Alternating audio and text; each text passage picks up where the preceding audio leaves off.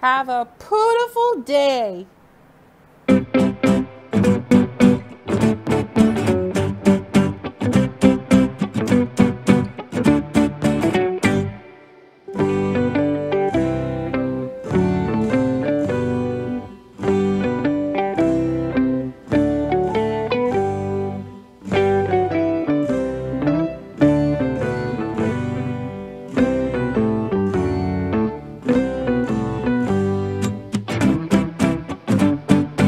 Don't forget to like and subscribe.